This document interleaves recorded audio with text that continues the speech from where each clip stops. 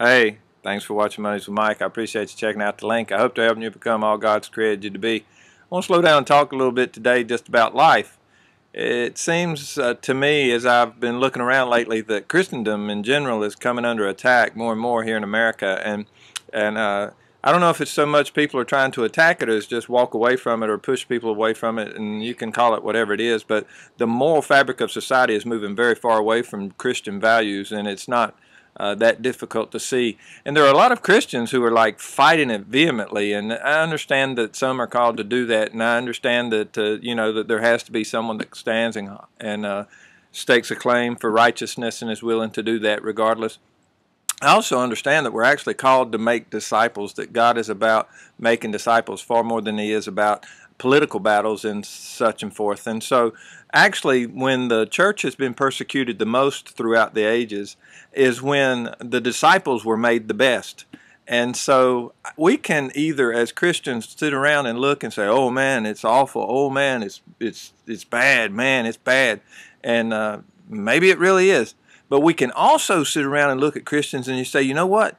This is a great time to demonstrate the love of Christ, to demonstrate the message of hope, to demonstrate what making disciples is all about. To just rub shoulders with people who are non-Christians, to get out from my little arenas that I fight the good fight with and, and, and actually rub shoulders with people who are opposed to God or people who don't know God and are moving away from Him just because they don't know Him and someone's leading them in that direction. And just rub shoulders with them. Say you care about them. Say you love them.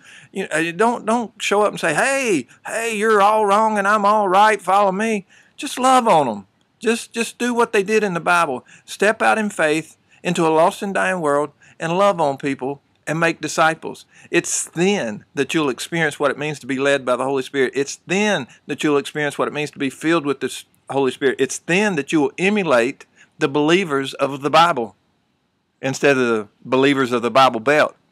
And I'm one, I'm not knocking them, I'm simply saying we can get so caught up being with other Christians that we smell like a pile of manure Christians, just knowing other Christians, kind of smell like a pile of manure, and a pile of manure stinks. But when you take that pile of manure and spread it around, they change the name of it to fertilizer, and it makes things grow.